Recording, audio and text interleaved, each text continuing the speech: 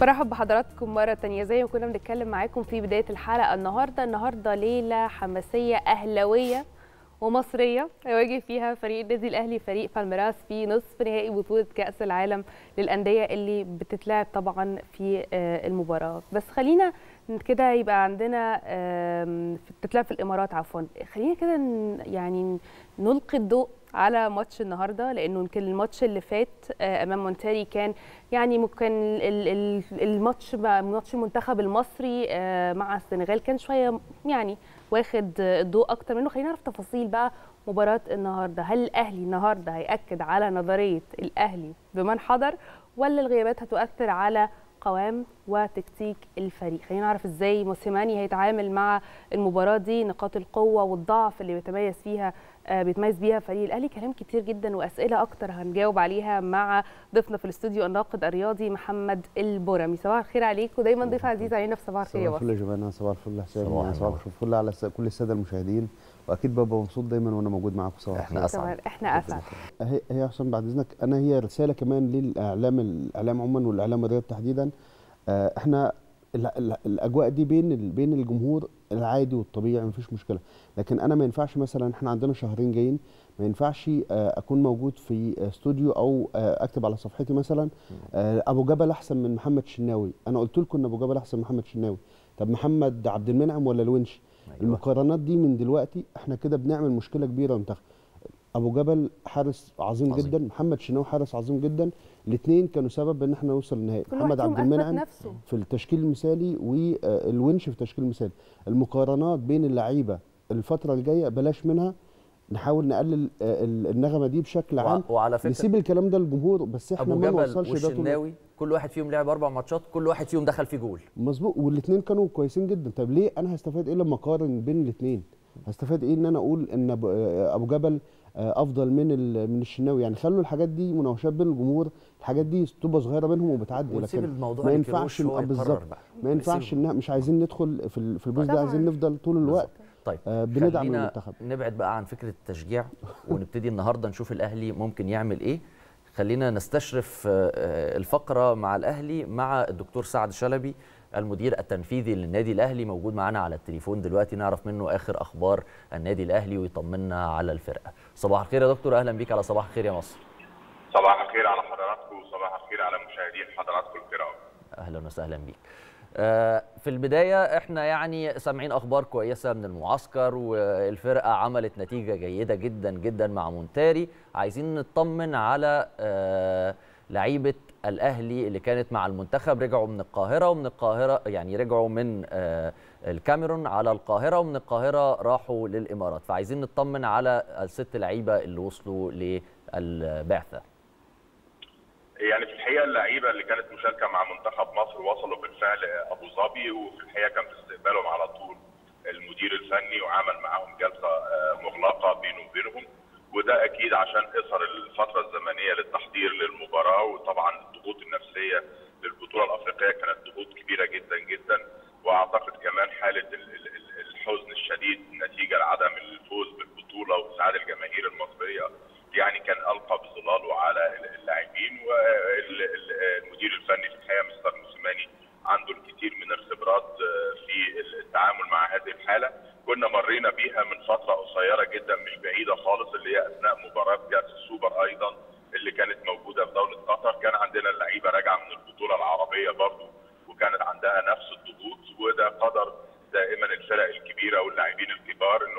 ان هم يقدروا يتعاملوا مع المواقف الصعبة. وده أيضا آه، يعني مسؤولية النادي الأهلي التاريخية في الحقيقة. إحنا عندنا مهمة واضحة وعندنا هدف واضح ما بنشغلش نفسنا كتير دلوقتي بالتحديات اللي بتقابلنا آه، خلال البطوله بتاعت كاس العالم بقدر ما بنشغل نفسنا بالاهداف اللي إحنا عايزين نحققها واول هذه الاهداف هو اسعاد جماهير كره القدم المصريه بشكل عام وجماهير النادي الاهلي آه، بشكل خاص في الحقيقة وده اعتقد ان كل ال- ال- الاستعدادات بتؤكد ذلك حتى في حضور ال- الكابتن محمود اللي اللي كان عنده يعني برنامج علاجي هنا وقطعه آه، لدعم ومسانده الفريق هناك في الحقيقة فكل واحد في الحقيقة في منظومه النادي الاهلي بيقوم بدوره على اكمل وجه ينقصنا بس ان شاء الله ان ربنا آه، التوفيق يحالفنا ويبقى اللعيبه موفقه آه، في المباراه كما كانوا موفقين في المباراه السابقه ان شاء الله مهم. طيب آه، دكتور سعد يعني آه، آه، بالفعل وصل آه، شناوي وصل عمرو السولية أيمن أشرف محمد عبد المنعم حمدي فتحي ومحمد شريف وصلوا بالفعل للمعسكر وانضموا. فيه أسئلة دلوقتي يا فندم مين منهم اللي ممكن يشارك في المباراة النهارده؟ وكمان ناس بتسأل على آخر أخبار المسحة للعيبة. المسحة الحمد لله سلبية كلها. مظبوط؟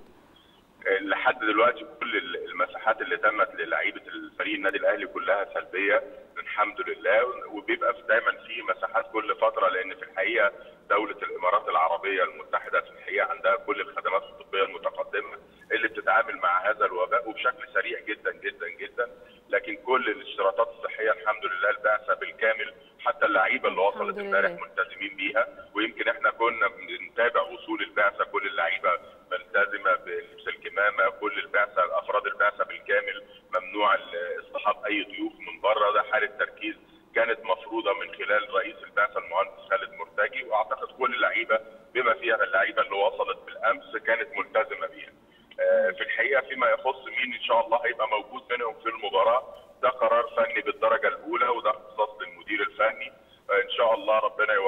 يوفقه إن هو يختار التشكيل اللي يمكنه من تحقيق أهدافه والوصول إن شاء الله للمباراة النهائية إن شاء الله. إن شاء الله. عظيم جدا جدا. يعني إحنا بنشكر حضرتك على وجودك معانا وكل التوفيق لبعثة النادي الأهلي وكل الفريق في هذه المباراة. الحقيقة يعني مباراة مش سهلة خالص لكن الأمل كبير في المجهود وفي أرض الملعب. 11 لعيب قدام 11 لعيب. والكرة هي اللي بتتكلم المجهود دايما هو اللي بيتكلم. نشكر حضرتك الدكتور سعد شلبي المدير التنفيذي للنادي الأهلي.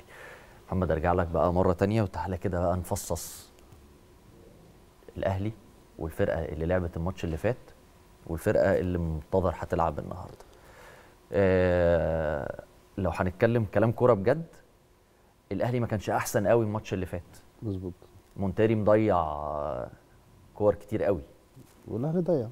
والأهلي ضيع طبعا بس مونتيري كان مسيطر شوية على نص الملعب. إحنا نص ملعبنا كان في افتقاد لرمانة الميزان. يعني ديانج لوحده قفشة مش مركزه إن هو يلعب في الحتة دي. دايما ديانج متعود يبقى جنبه حمدي فتحي أو السولية. آه، فالأهلي ما كانش ماسك الماتش. الأهلي عرف كده يعني من أين تؤكل الكتف؟ عامل زي بايرن ميونخ كده دايما. ممكن ما يبقاش مسيطر قوي على الماتش بس يعرف يخطف الفوز. والأهلي كتير بيبقى عنده ال- ال- الميزة دي. النهارده موسيماني هيعمل إيه مع فرقة تقيلة قوي زي بالميراس؟ هو ماتش صعب جدا على الأهلي. يعني أنا أنا كنت بشوف إن ماتش مونتيري أسهل كتير جدا من الماتش من ماتش بالميراس لأسباب كتير جدا منها إن إن ما حدش كان متوقع إن الأهلي هيفوز على على مونتيري في الأجواء دي وفي الظروف دي. آه، فده كان شوية مسهل الماتش على الأهلي. خلاص ان إن أنت ما فيش ضغوط كبيرة على اللعيبة اللعيبة عايزة تثبت آه، نفسها كمان. انت آه، وصل الحالة وصلت لمونتيري ان ده الفريق الثاني الاهلي فالماتش سهل فالمباراة سهلة آه، ممكن ده شوية سهل على الأهلي. لكن في المباراة الحالية مباراه بالميراس خلاص انت بقيت مكشوف آه، للبالميراس. خلاص ال- الأول انت كنت فريق أو المجموعة اللي هتلعب مجهولة المونتيري فالموضوع بالنسبة لك بيسهل عليك أكتر ماتش. لكن في مباراة بالميراس هم خلاص عرفوا المجموعة اللي هتلعب عرفوا المجموعة اللي موجودة بقيت مكشوف أكتر للفريق هم بيلعبوا بكامل آه، قوتهم فريق قوي فريق متكامل. الأهلي عنده آه، غيابات كتيرة جدا. آه، كان في مشاكل كتيرة جدا في ال- الماتش اللي فات مع الأهلي مثلا زي آه، نص الملعب تقريبا. ديانج كان يعني بيحارب لوحده يعني بيلعب لوحده. آه، قفشة مش مميز. آه، في مركز 8 ما بيلعبوش بأفضل شكل. وكمان مفيش بديل في المركز ده. آه، النهارده هو ما يقدرش يدفع بحمدي فتحي آه، بحمدي أو آه، السولية في المكان ده فهو غالبا ممكن آه، يعوض ده بإنه يزود أو يلعب بثلاث مدافعين آه، صراح أو يلعب مثلا محمد هاني كقلب دفاع ثالث وكريم فؤاد آه، في الباك اليمين. ما أعتقدش إنه هيغامر آه، بحد منهم. ممكن نشوف أيمن أشرف آه، يدخل على التشكيل آه، ومحمد شريف ممكن يدخل برضه على التشكيل. لكن هي مباراة صعبة كتير لأنه خلاص هو الفريق بقى مكشوف أكتر لبالميراس مش مش يعني المفاجأة مش وارده قوي آه، آه، قدام فرقة زي الفريق ده خاصة خلاص كل أوراقك آه، اللي بتلعب هي خلاص معروفة وهتلعب إزاي وطريقتك آه، عاملة إزاي يعني. فنتمنى لهم التوفيق لكن أنا أعتقد إنها مباراة أصعب كتير جدا جدا آه، من مباراة مونتيريا خاصة أنت كمان فزت في كأس العالم ال- اللي فات على بالميراس. برضه حصلت على ثالث العالم منهم. فالموضوع صعب مباراة أصعب كتير جدا من المباراة اللي فاتت. هي المباراة صعبة و... وزي ما إحنا بنقول يمكن الأهلي دلوقتي خلينا نقول هو في وضع طوارئ بالنسبة للإصابات كمان. ولغياب اللعيبة. لكن بيبقى في أوراق دايما ونقاط قوة وضعف لكل فريق. آه زي ما حضرتك قلت بالميراس مش فريق سهل والأهلي زي ما إحنا نقول في وضع طوارئ كده. فعايزة أعرف منك نقاط قوة وضعف آه الأهلي وأيضا بالميراس وفكرة كمان إحنا عندنا عامل الحمد لله عامل قوة وهي جم... إن. الماتش بيتلعب في الإمارات. فعامل الجمهور هيكون عامل كمان مهم بالنسبة لنا. طبعا. آه، يعني الجمهور أكيد هو المحرك الأساسي للفريق. شفنا المباراة اللي فاتت قد إيه جمهور الأهلي كان موجود ومتواجد بشكل كبير جدا. نقاط القوة آه، في الأهلي يمكن عودة محمد شريف. يعني الأهلي كان عنده مشكلة آه، في خط في خط الهجوم. أعتقد مع رجوع محمد شريف هيساعد بشكل كبير جدا في في حل حل الأزمة دي. وجود أحمد عبد القادر بيأدي بشكل كويس جدا من اللعيبة. أعتقد هو لو قدر يحل مركز المدافع الثاني جنب ديانج هيكون آه، هيسهل عليه بشكل كبير جدا. لكن أهم حاجة بتميز الأهلي ال- ال- يمكن الماتش مونتيري كان باين جدا هو خط دفاعه. خط دفاع الماتش اللي فات عمل آه، ماتش كويس جدا كان فيه آه، تشكك كبير جدا من من المجموعه من وجود ياسر جنب رامي ربيعة. لكن رامي ربيعة كان أفضل لاعب في الماتش وحصل على الناشئ مباراه بالظبط. ومحمد مغربي أعتقد هو مصاب يعني أصيب الماتش اللي فات يعني مش جاهز الماتش ده ممكن أيمن أشرف يرجع. فأكتر حاجة بتميز الأهلي ال- خط الدفاع وكمان الارتداد السريع بالكره الأهلي بيعمل هجمات مرتدة آه، سريعة جدا بشكل سريع وبيعملها كويس مع وجود أحمد عبد القادر. أحمد عبد القادر بيعرف يطلع بالكره بشكل كويس جدا عنده مهارة آه. مكسب كبير للكرة المصرية كمان. يعني إذا كمل بالمستوى ده أعتقد إن إن إن كروش هيلاقي حل آه، للصداع بالنسبة له في مركز آه، صانع الألعاب مع منتخب مصر. يعني آه، قفشة استبعد وعبد الله السعيد آه، ما قدرش يكون عبد الله السعيد في موجود. كلام إنه بيفكر يعتزل ما دوري. قدر هو يعني ما قدرش كلام لسه ما- يعني ما قدرش يكون. موجود مع كروش. فأعتقد إن أحمد عبد القادر هيكون حل مناسب ليه مستقبلا فده ده أهم حاجة بتميز الأهلي ولكن عنده عيب لازم لازم الأهلي يحله. يعني مش عارف كل الفترة دي كلها العيب ده ما بيتحلش في الأهلي اطلاقا. عيب إضاعة الهجمات. الأهلي بيضيع هج... بيوصل لجول كتير جدا بيضيع هجمات ما ينفعش تضيع. يعني يعني إحنا شفنا انفرادات بتضيع ما- يعني هجمات ما ينفعش تضيع.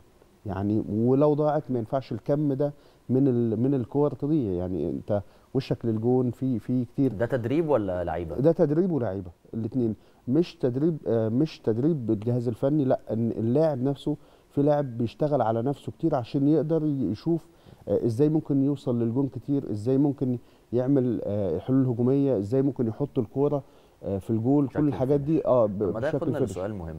الأهلي جاب صفقتين تقايل بيرسي تاو وميكيسوني.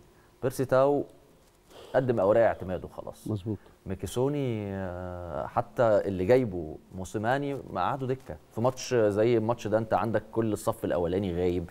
كنا متوقعين إنه هيعتمد على ميكيسوني. مظبوط. أعتقد إن جزء منه آه، إن إن توظيف ميك- ميكيسوني نفسه. ميكيسوني آه، بيلعب طول الوقت كان مع سيمبا على الطرف. فكان شغله أكتر على الأطراف يقدر. يروح للجون على الأطراف يعني بيقدر يقطع ويدخل لجوه عكس مثلا توظيفه مع الأهلي. هو في الأهلي حتى الآن في كل المباريات اللي لعبها بيتوظف كلاعب ثالث في وسط الملعب ناحية الشمال. فده بيبقى صعب خاصة إن هو جسمه قليل وما عندوش القدرة إن هو يجاري ال- ال- ال- المجموعة اللي موجودة في وسط الملعب. كان بيستلم بظهره أكتر فده بيصعب الكره فهي الفكرة في التوظيف أكتر منها في ال- اللاعب نفسه. أنا أنا كنت بشوف إن هو لاعب مميز قبل الانضمام آه للأهلي لأن كلنا شفناه مع سيمبا. وهو بيجيب واحرز هدف جميل في الأهلي. فأعتقد إن مشكلة ميكيسوني أكتر في التوظيف عكس بيرسي تاو لأن بيرسي تاو بيتوظف حسب التوظيف اللي هو بيلعبه أصلا سواء كمهاجم تاني أو على على الطرف. فده خلاه يظهر بشكل أكبر إضافة طبعا للخبرة. يعني بيرسي تاو آه، لاعب بيلعب في الدوري الإنجليزي وجاي من الدوري الإنجليزي فالموضوع بالنسبة له موضوع التأقلم أسهل أعتقد إن هو التوظيف لو آه، قدر آه، موسيماني يعيد توظيف آه، بيرستاو يعيد توظيف مكسوني ممكن يكون فارق بشكل كبير جدا مع الأهلي طبعا يعني بنشكرك جزيل الشكر الناقد الرياضي محمد البورمي نورتنا في صباح الخير يا مصر وإن شاء الله النهارده الأهلي بمن حضر وإن شاء الله. هنحتفل بكرة بفوز. الأهلي إن شاء أشكرك الله إن جزيل. الشكر. شكرا شكراً. جدا شكراً. شكرا جزيلاً ربنا يخليك